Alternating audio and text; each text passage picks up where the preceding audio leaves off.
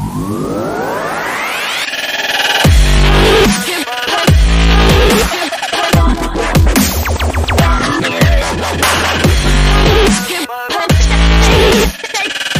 friends and my dear students आप सभी का स्वागत है आपके अपने YouTube channel Techno Master Abhishek में। So guys in this video I am going to discuss about the chapter number one detail and assembly drawing part three so basically chapter number one के part one and part two में हमने discuss किया था कुछ basics as well as कुछ problems हमने किए थे on the basis of the wooden joint तो आज भी इस पार्ट थ्री में हम कुछ वुडन ज्वाइंट्स के प्रॉब्लम सॉल्व करेंगे, उसके असेंबली देखेंगे, फिर उसके बाद इस चैप्टर को हम कंप्लीट हो जाएगा और नेक्स्ट वीडियो में हम नेक्स्ट चैप्टर टू स्टार्ट करेंगे. तो चलिए गाइस स्टार्ट करते हैं हम. तो this is a problem number three problem number one and two already discuss कर लिया था मैंने आपके पार्ट टू में, और उसके बेसिस पे आप ड्राइंग शीट बनाइए और गूगल क्लासरूम में आप सबमिट कर सकते हैं ताकि मैं चेक करके आपको इवेलुएट कर दूँ या कोई मिस्टेक हो तो आपको बता सकूँगा और गूगल क्लासरूम का जो कोड है वो डिस्क्रिप्शन बॉक्स में दे रखा है, आप चाहें तो उसको ज्वाइन कर सकते हैं। ओके फ्रेंड्स तो चलिए आगे बढ़ते हैं। Problem number three this is a this is a mortise and tenon joint based problem जिसमें जैसे मैंने बताया था कि वुडन ज्वाइंट कई प्रकार के होते हैं तो पिछले क्लास में या पिछले आपके वीडियो में हमने डिस्कस किया था हार्विंग ज्वाइंट जितने हार्विंग ज्वाइंट्स होते हैं, उनके प्रॉब्लम्स को हमने किया था। तो आज हम मोटिस एंड टेनन ज्वाइंट के प्रॉब्लम सॉल्व करने जा रहे हैं। तो इसमें बेसिकली किया दिया क्या है कि इसका जो असेंबल करके मोटिस एंड टेनन ज्वाइंट का plan elevation right side view बनाना है फ़र्स्ट एंगल प्रोजेक्शन में। तो क्वेश्चन क्या कह रहा है? Draw the plan elevation and right side view in the first angle projection of the mortise and tenon join तो ये आपका फिगर देख रखा है मोटिस एंड टेनन ज्वाइन का। और इसमें students this is isometric detail drawing मतलब आइसोमेट्रिक व्यू दे रखा है डिटेल ड्राइंग का मतलब क्या हुआ? अलग अलग पार्ट करके दे रखा है। डिटेल का मतलब अलग अलग पार्ट करके उसकी डायमेंशन दे रखा होता है।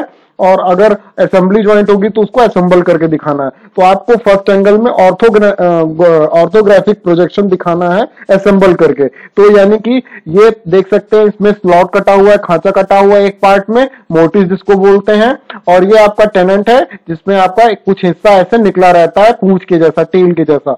तो इसको हम टेनेंट ज्वाइंट बोलते हैं। और ये टेनेंट इसके अंदर इंसर्ट होगा तो आपका कंप्लीट एक ज्वाइंट बन जाएगा वुडन ज्वाइंट और ये टाइट फिट होता है।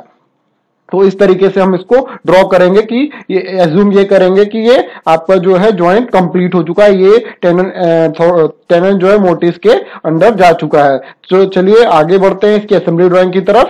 तो this is a problem students देख सकते हैं this is a isometric detail drawing इसको हमें सॉल्व करना है। सारी डायमेंशन आपको दे रखी हैं। आपको अपने दिमाग में एज्यूम करना होगा कि ये आपका जो टेनन है, इसके अंदर इंसर्ट हो गया है। तो आपको उसका फ्रंट व्यू बनाना है, उसका टॉप व्यू बनाना है, उसका राइट साइड व्यू बनाना राइट साइड व्यू का मतलब राइट right से देखेंगे तो बनेगा किस साइड? लेफ़्ट हैंड साइड में। ओके स्टूडेंट्स तो हम इसका फ्रंट व्यू देखेंगे तो फ्रंट व्यू एज्यूम करेंगे, जिधर से मैक्सिमम डायमेंशन दिख रही है तो this is the front view इधर से हम अगर एरो नहीं दे रखा है तो आप इधर से फ्रंट व्यू मानेंगे इसको। तो ये इसके साथ जब इंसर्ट कर देंगे तो उसका फ्रंट व्यू कैसे दिखाई देगा, वो हमको दिखाना है स्टूडेंट्स तो इसको जब इंसर्ट करा देंगे तो ये पार्ट ए है, ये पार्ट बी है। तो जब इसके साथ इंसर्ट कर जाएगा तो इधर से हम देखेंगे तो एक रेक्टेंगल हम यहाँ, ये वाला दिखाई देगा, जो कि 55 बाय एक सौ पचपन माइनस जो भी ये लेंथ होगी, इतने लेंथ का ये आपका ये वाला रेक्टेंगल दिखाई देगा। फिर उसके बाद ये पार्ट तो दिखाई नहीं देगा, ये अंदर घुसा होगा, और उसके बाद जब अंदर इंसर्ट करने के बाद, और टोटल ये पचपन है तो यानी कि ये पूरा का पूरा इसके अंदर ये भी पचपन है तो पूरा का पूरा ये इंसर्ट कर जाएगा, बाहर नहीं निकला होगा। तो आप इधर से देखेंगे तो आपको ये रेक्टेंगल दिखाई देगा और ये बी पार्ट का ये वाला रेक्टेंगल दिखाई देगा। इसकी लेंथ और विथ कितनी है? इसकी जो हाइट है 155 है और विथ कितनी लेंगे? 55 लेंगे। ठीक है स्टूडेंट्स तो हम सबसे पहले एक छोटा वाला रेक्टेंगल बनाएँगे ए पार्ट का और उसकी उसकी जो लेंथ है वो कितनी लेंगे स्टूडेंट्स ये आपका 55 है, ये 155 है तो ये 100 हो जाएगा, यानी 55 माइनस कर देंगे। तो 100 और 55 का एक रेक्टेंगल बना देंगे। तो 100 की एक लाइन खींचा और एक 55 की लाइन खींचा फिर 100 की लाइन खींच दिया। इस तरीके से एक आपका क्या बन गया? इस, ये वाला हिस्सा बन गया। फिर उसके बाद देख सकते हैं, ये पार्ट अलग है और ये पार्ट हमें ये वाला रेक्टेंगल दिखाई देगा। दोनों अलग अलग सरफेस है। तो दोनों के सरफेस में अलग अलग है। तो सरफेस में जब चेंज होता है तो हम थिक लाइन के साथ दिखाते हैं। मतलब ये सरफेस अलग है, ये वाला सरफेस अलग है जो हमें यहाँ पे दिखाई दे रहा है। तो स्टूडेंट्स इसको आप ये वाला रेक्टेंगल बनाएँगे बीचों बीच एक सेंटर लाइन ड्रॉ करके आप बना सकते हैं। तो ये, जैसे मान लीजिए एक डॉटेड लाइन करके हमने सेंटर लाइन बना ली तो उसके बाद हम यहाँ से कितना जाएँगे ऊपर? इसका हाफ़ हाफ़ लेके बना लेंगे मिड सेक्शन से। तो 155 का हाफ़ ऊपर जाएँगे और 150 हाफ़ का नीचे जाएँगे। तो ये टोटल आपकी 155 की लाइन हो जाएगी और यहाँ से फिर लेंथ कितनी लेंगे? विथ आपकी 55 है 55 लेके और ये टोटल बन जाएगा एक रेक्टेंगल और यहाँ पे स्टूडेंट्स ये देख सकते हैं, ये पार्ट इसके अंदर होल के अंदर घुसा हुआ है और वो हमें दिखाई नहीं दे रहा है, लेकिन वो अंदर है। तो उसके लिए हम उसको क्या बनाएँगे कि ये डॉटेड लाइन से दर्शाएँगे। तो यानी ये हिस्सा हम क्या दिखाएँगे? डॉटेड लाइन से ये जो हमारा हिस्सा है, वो दिखाई देगा, वो डॉटेड लाइन हम दर्शा देंगे। तो इस तरीके से आपका ये फ्रंट व्यू बन तैयार हो जाएगा। बहुत ईजी आप इसको अपने से बना सकते हैं और इसके मैक्सिमम प्रॉब्लम आपके बुक्स रेफरेंस के तौर पर अनसॉल्व प्रॉब्लम भी सॉल्व कर सकते हैं। ओके स्टूडेंट्स अब ये फ्रंट व्यू बन गया। अब इसके बाद इसका क्या बनाना है? टॉप व्यू बनाना है। तो टॉप व्यू ऊपर से देखेंगे तो हमें एक रेक्टेंगल ये दिखाई देगा और साथ ही साथ ये तो अंदर घुसा हुआ है। और उसके बाद, और ये थोड़ा नीचे होगा, बीच में होगा, और उसके बाद सरफेस में चेंज होगा, ये वाला रेक्टेंगल दिखाई देगा। तो एक रेक्टेंगल ये वाला ऊपर का, और वो कितनी लेंथ होगी? 100 और 30 का। तो हम क्या करेंगे? इसी के नीचे प्रोजेक्शन लाइन बना लेंगे। इसके नीचे प्रोजेक्शन लाइन ड्रॉ करके 100 की लेंथ तो मिल गई। और विथ कितनी लेनी है स्टूडेंट्स 30 तो 30 का एक रेक्टेंगल 30 बाय 100 का हमने यहाँ बना दिया, इसी के जस्ट नीचे। फिर उसके बाद हमें ये वाला रेक्टेंगल दिखाई देगा, क्योंकि ये तो नीचे है, ठीक ठीक है स्टूडेंट्स तो ऊपर वाला ये रेक्टेंगल दिखाई देगा। तो हम ये वाला रेक्टेंगल बनाएँगे। दोनों में सरफेस में चेंज है, ये नीचे है, ये ऊपर है तो यहाँ पे हम एक थिक लाइन बना दिया हमने। ठीक है स्टूडेंट्स तो फिर ये वाला रेक्टेंगल दिखाई देगा और यहाँ पे ये दिखा रहा है कि ये लकड़ी का टुकड़ा जो है, कहीं से पीस में कटा हुआ है। तो इस तरीके से लकड़ी के टुकड़े को दिखाते हैं तो इस तरीके से हैचिंग कर देते हैं और हैचिंग कर देंगे।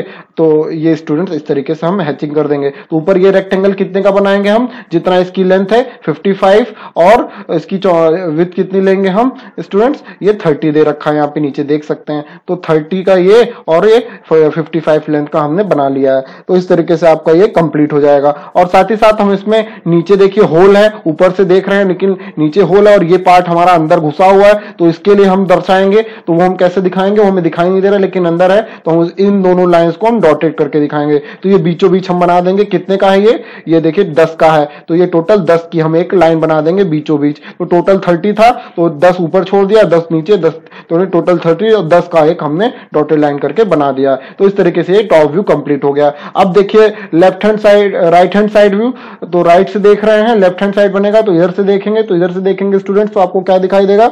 एक तो ये पूरा रेक्टेंगल और उसके साथ अंदर में ये एक रेक्टेंगल जो अंदर से इसमें इंसर्ट किया हुआ है, और इसको हम हैच कर देंगे अंदर वाले को। तो ये कितने बाय कितने का बनाएँगे? 155 की लेंथ हो जाएगी, और चौड़ाई कितनी होगी? 130 तो हम इसी के जस्ट सामने प्रोजेक्शन लाइन लेके 155 की लेंथ बना देंगे और चौड़ाई कितनी ले लेंगे? 30 ले लेंगे। तो इस तरीके से आपका ये एक रेक्टेंगल का राइट साइड भी बनके तैयार हो जाएगा। अब बीचों बीच आपको क्या बनाना है?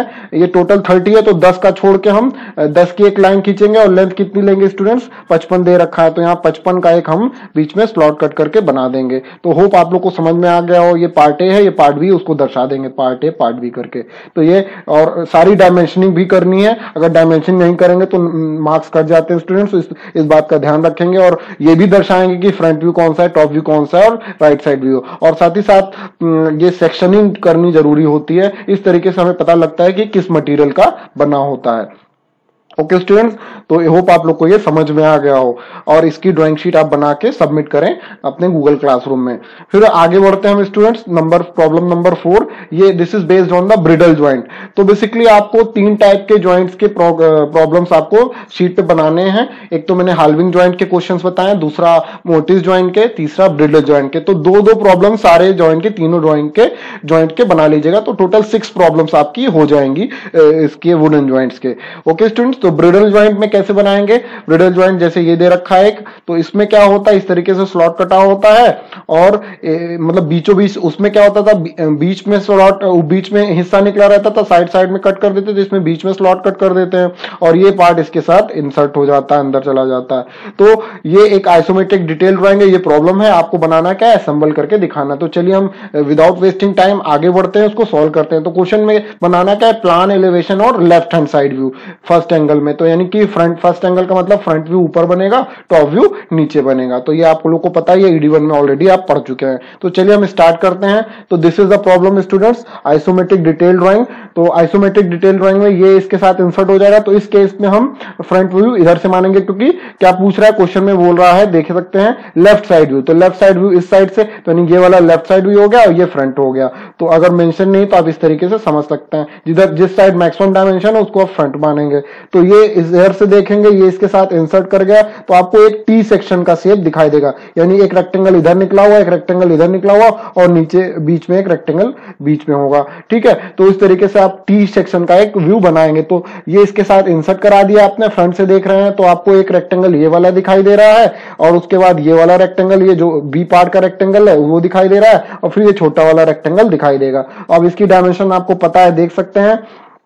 टोटल 135 है तो ये 45 45 90 हो गया, और ये 135 में से फिर माइनस कर देंगे तो टोटल 45 ये भी हो जाएगा। तो ये 45 का एक रेक्टेंगल अब बनाएँगे स्टूडेंट्स तो 45 लेंथ लेके हमने ये रेक्टेंगल बना दिया, और उसकी विथ कितनी होगी, इधर से देख सकते हैं, ये चौड़ाई कितनी है 45 तो यानी एक स्क्वायर बन जाएगा बेसिकली तो 45 बाय 45 का एक स्क्वायर बना दिया हमने। उसके बाद स्टूडेंट्स क्या करेंगे हम, ये वाला एक रेक्टेंगल बनाएँगे, इसी से सटा हुआ, क्योंकि ये इसके साथ इंसर्ट हुआ है, और ये पूरा का पूरा देख सकते हैं पैंतालीस है, और ये भी स्लॉट कितने का? पैंतालीस तो यानी कोई भी हिस्सा बाहर नहीं निकला रहेगा। तो ये पूरा का पूरा इससे सट जाएगा।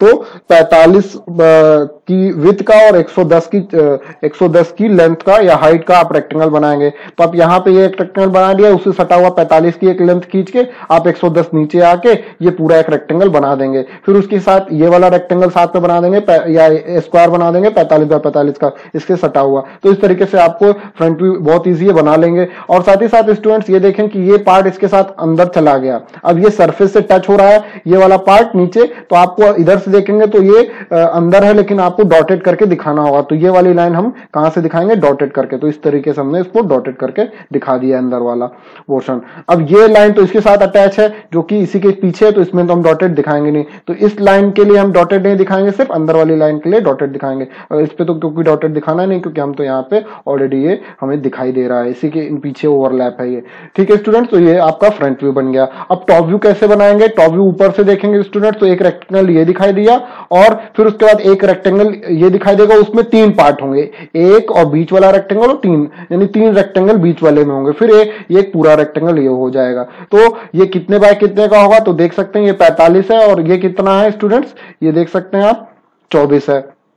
ठीक है तो चौबीस की लेंथ 24 की चौड़ाई और लेंथ कितना लेंगे? 45 जितना है, उसी के नीचे प्रोजेक्शन लाइन ड्रॉ करके 4H पेंसिल से आप बना लेंगे। तो ये टोटल एक रेक्टेंगल कितने का बन जाएगा?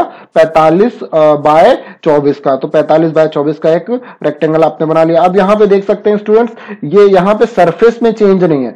यहाँ पे सरफेस में चेंज नहीं है। और लेकिन ये जब इसके साथ अटैच होगा तो इसके जस्ट बाद, यानी यहाँ के बाद, ये यहाँ पे एक सरफेस आ जाएगा, ये वाला। तो यहाँ पे हम थिक लाइन दिखाएँगे और इस साइड भी हम थिक लाइन दिखाई देंगे। लेकिन इसके जस्ट बाद ये पूरा अटैच है सरफेस में चेंज नहीं तो यहाँ पे हम डॉटेड दिखा देंगे। तो इस तरीके से देख सकते हैं, यहाँ पे हमने थिक दिखाया, यहाँ पे थिक दिखाया, बीच में डॉटेड दिखा दिया है। इसी तरह के इस साइड भी बना देंगे। तो ये टोटल इसी के नीचे बनाएँगे, पैंतालीस की आपकी लेंथ हो जाएगी और विथ कितनी होगी, वही चौबीस का। और ये इसको तीन पार्ट में डिवाइड कर देंगे, आठ आठ का तो आठ का ऊपर हो गया, आठ का बीच में, आठ का नीचे। और ये आठ आठ साइड साइड वाले को हम हैचिंग कर देंगे यानी अलग पार्ट है। फिर उसके बाद स्टूडेंट हम ये वाला बनाएँगे पोर्शन ये वाला पोर्शन बनाएँगे तो ये ये देखिए ये सिर्फ़ डायमेंशनिंग करके दिखाया ये स्टूडेंट मत समझिएगा कि ये इसकी लेंथ सिर्फ़ डायमेंशनिंग करके लाइन खींचा हुआ है ठीक है? तो यहाँ पे एक रेक्टेंगल ये दिखाई देगा और साथ में यहाँ पे सर, यहाँ इसके बाद सरफेस में चेंज है क्योंकि ये रेक्टेंगल अलग है दूसरे बी पार्ट का हिस्सा है तो यहाँ पे थिक लाइन बनाएँगे लेकिन ये जो बीच वाला हिस्सा है वो ए ही पार्ट का है तो इसलिए इसको डॉटेड करके दिखा देंगे।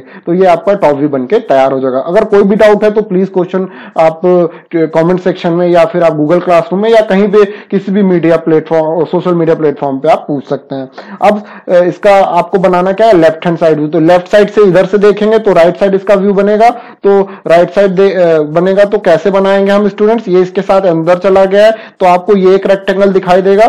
ठीक है? ये ये क्यों, इसके पीछे ये पूरा छुप जाएगा। ये वाला रेक्टेंगल तो ये बाहर दिखाई देगा और उसके नीचे ये इतना रेक्टेंगल दिखाई देगा आपको। तो टोटल आप क्या करेंगे? बस सीधी सी बात है प्रोजेक्शन यहाँ से लाइन लें और यहाँ से प्रोजेक्शन लाइन लें। तो लेंथ तो आपको पता लग गई, लेकिन विथ कितनी लेंगे? ये विथ आपकी पैंतालीस ऊपर हो गई। तो यहाँ से पैंतालीस लीजिए, पैंतालीस और नीचे पूरा का जितना लेंथ बचा है, उतना आप बना देंगे। एक सौ दस माइनस पैंतालीस करके। और ये हिस्सा आपको क्या करके दिखाना है? हैचिंग करके दिखाना है इस तरीके से। तो इस तरीके से आपको कर्व बना देना है। वुडन लाइन जैसे वुड वुड का मटेरियल होता है तो उसको हम इस तरीके से फ्री हैंड स्केचिंग या फ्री हैंड कह सकते हैं वो करते हैं। हैचिंग करते हैं। लेकिन आपका जो, जैसे कॉस्ट आयरन मटेरियल है तो उसमें क्या करते हैं? 45 डिग्री पे दो दो एम पे, दो सिस्टम पे हम 45 डिग्री पे लाइन खींचते हैं स्ट्रेट लाइन लेकिन वुडन में ऐसा नहीं करते। यही तरीके से हर मटेरियल का अलग अलग पहचान होता है हैचिंग करने का। इस तरीके से जो इंजीनियर्स होते हैं या प्रोडक्शन वाले डिपार्टमेंट वाले समझ जाते हैं कि किस मटेरियल का वो बना हुआ है। तो होप आप लोग को ये पूरा पूरा का पूरा वीडियो समझ में आ गया हो और आप प्लीज़ घर पे रहिए और उस टाइम को यूटिलाइज करिए और साथ ही साथ सारे सारे जो जो मैंने वीडियो ऑलरेडी पोस्ट कर रखे हैं, ये तो चैप्टर वन का है, और मैंने चैप्टर फोर से लेकर चैप्टर सेवन तक ऑलरेडी वीडियो पोस्ट कर रखे हैं तो वो वीडियो आपने वो नहीं देखे तो उसको देखिए और सारे के सारे असाइनमेंट कंप्लीट कीजिए और गूगल क्लासरूम में सबमिट कीजिए। Okay thanks for watching